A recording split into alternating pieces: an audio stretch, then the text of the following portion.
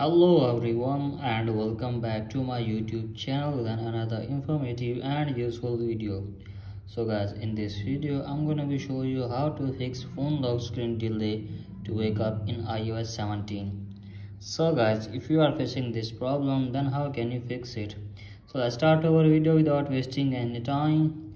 So first of all guys you have to just simply open settings scroll to below then tap on General scroll it below then tap on shutdown and after that shut down your iphone to 15 to 20 seconds and after that open your device and check if the problem is fixed or not. And if the problem is still there guys then here scroll it up and after that tap on software update and make sure that there is no update on your device. If they have any update then simply update it first and check if the problem is fixed or not. If the problem is still there guys then simply go back.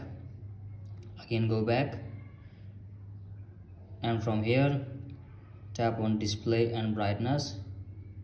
And from here guys you have to turn this toggle rise to wake up on. And after that go back again and tap on accessibility. From here you can see motion so simply tap on it and from here guys. You have to just simply turn reduce motion turn it on and after that turn it off again and check if the problem is fixed or not. If the problem is still there guys then simply go back. Again go back. Open your General.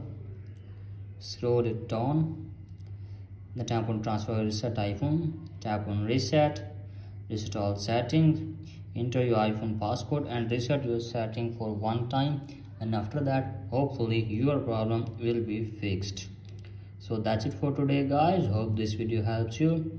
If you like the video please subscribe to my youtube channel as well. Thank you